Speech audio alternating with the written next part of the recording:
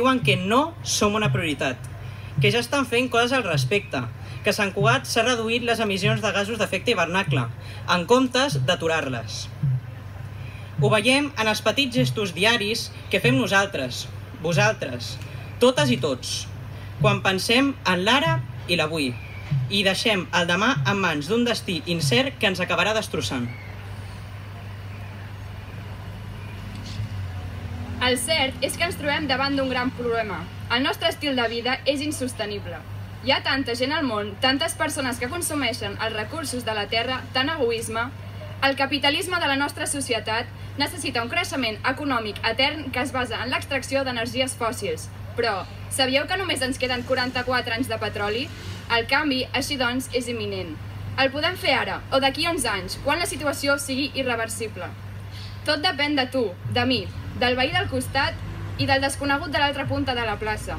I és que ens trobem en un punt decisiu per la humanitat, que pot significar una diferència crucial pel nostre futur i el de les futures generacions que habitin aquest planeta. Que us penseu que només pel sol fet d'haver nascut abans teniu més dret a tenir una, a tenir una vida digna? Davant d'aquesta crisi més evident, Fridays for Future, un moviment juvenil apartidista que ja s'ha estès per tot el món. Busquem deixar els polítics en evidència, que reaccionin, que la gent desperti i vegi la realitat des d'uns altres ulls.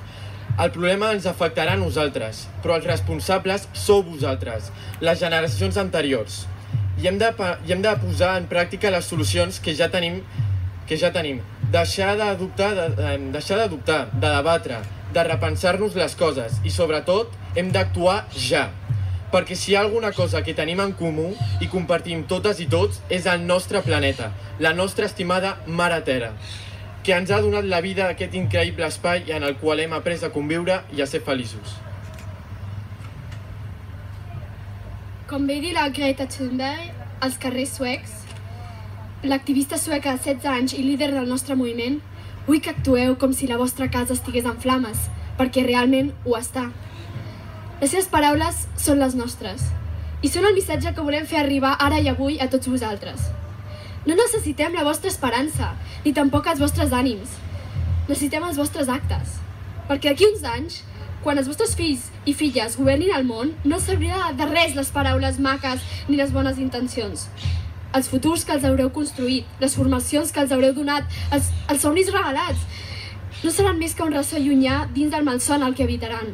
Dels ciclons, de les tempestes, de les desertificacions, les malalties, dels refugiats climàtics, les guerres per l'aigua, les extincions massives.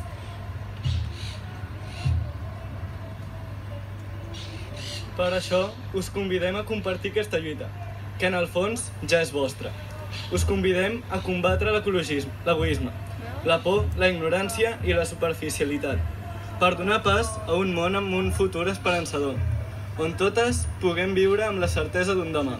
Us convidem a escoltar la ciència, com hem fet nosaltres, que són la, raó de la, la veu de la raó, que ens estan avisant des de fa 30 anys, i els que ben pocs han fet cas i us convidem finalment a afegir-vos a les nostres manifestacions setmanals que fem cada divendres a dos quarts de sis a la plaça de l'estació, també coneguda com Lluís Millet, per reivindicar el nostre futur i el nostre dret a una vida digna. Moltes gràcies i bona festa amb això.